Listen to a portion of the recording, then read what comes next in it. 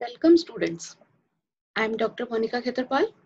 I am Associate Professor of Physics in Government Dungar College, Bikaner. In my lecture series, today I am going to deliver my lecture of MSc Final Physics. In my previous lectures, I have discussed DC and AC Josephson effect. Before moving on to today's topic, I am going to describe you what I discussed in my previous lecture. Students, we have discussed Josephson effect. As we know, when we have two superconductors which are separated by an insulating layer, then if this insulating thin layer, layer is very thin, then only electrons can cross from one superconductor to another superconductor. That means this insulator act as a barrier. So this Josephson effect is the phenomena of current flow across two weakly coupled superconductors which are separated by a very thin insulating layer. Now, since there are two superconductors and between them, this insulator is a non-conducting barrier. This arrangement of two superconductors which are linked by this non-superconducting barrier, this is known as Josephson junction. And the current that is flowing across this barrier, this current is students Josephson current. On this basis, we have discussed DC and AC Josephson effect. What were these two effects? According to DC Josephson effect, if we have this arrangement, that is two superconductors which are separated by a thin insulating layer and there is no electric or magnetic field applied, then in this case, we have in output a current which is DC in nature. This is DC Josephson effect. That means in spite of any current or voltage source, there is the output current and that is DC. Now, AC Josephson effect. What is AC Josephson effect? On this insulating layer, if we apply a DC voltage source, then in the output, we will get RF oscillations. That means in the output, the current is alternating current. So by applying a DC voltage, which is a barrier across the barrier, we get a current that is alternating in nature. Now, based on these two effects and Josephson effect, there is one more effect, which we will discuss in detail today. This effect is known as macroscopic quantum interference. What is this effect? Here, we will take two junctions. As in DC and AC, we have simply two superconductors which were separated by insulating layer. But in this case, that is macroscopic quantum interference, we will take two such type of junctions and we will show that due to interference effect, the output has a current. What is this effect? Here I am showing this by a diagram this diagram shows that there are two Josephson junctions, one and two. These two junctions, they are attached in parallel.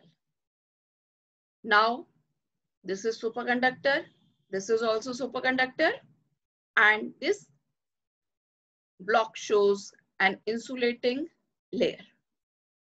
So a tunneling junction has been formed. I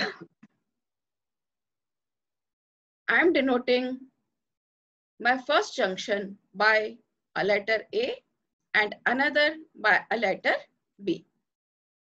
Assuming that the phase difference between my point 1 and 2, when I am taking through a path A, it be delta A, and when taken through path B, let it be delta B. Now, initially, I am applying zero magnetic field. That means no magnetic field is passed, hence magnetic flux will be zero.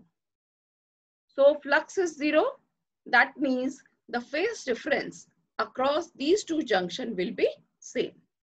Assuming we have already taken the phase difference delta A, delta B, these two will be equal. Delta A will be equal to delta B. Now, I am applying a magnetic field in the interior of the specimen.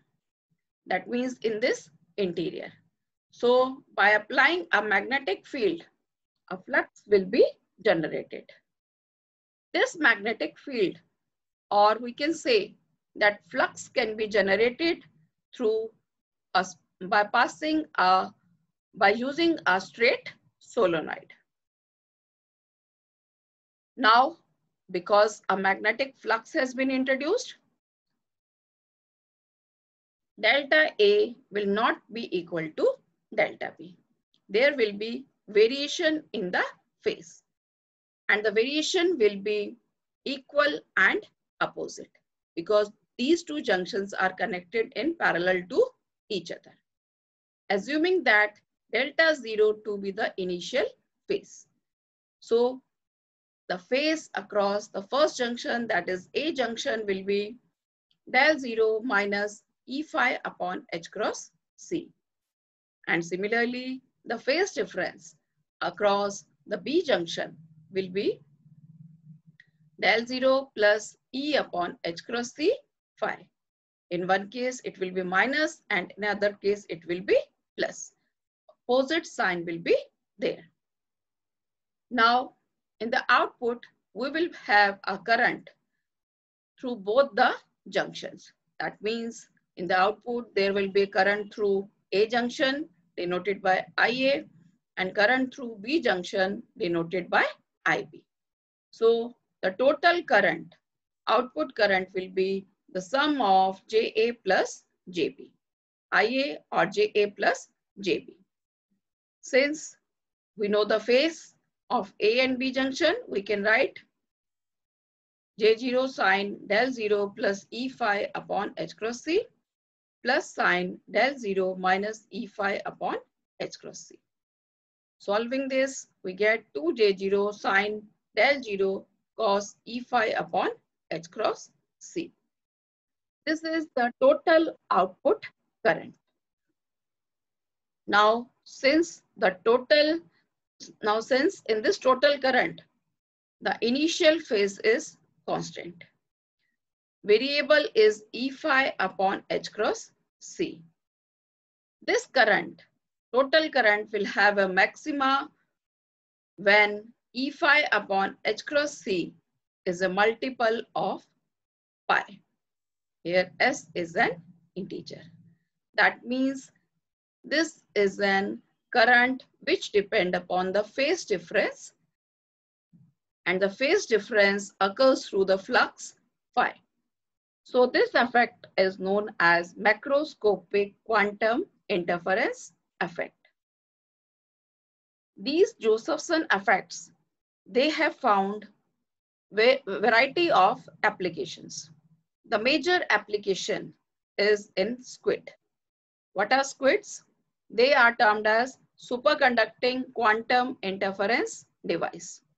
They are used to detect magnetic signals. Another use of Josephson effect is in metrology. This effect provides an exact reproducible conversion between frequency and voltage. Other application is Josephson junction are integral in superconducting quantum computing as qubits. This is the most important application of superconductors when they are used in the form of Josephson effect. They are also used in superconducting tunnel junction detectors, which are also termed as STJ. So students, this Josephson effect is very important in superconductivity. I hope you must have learned what I taught you today. Thank you for watching.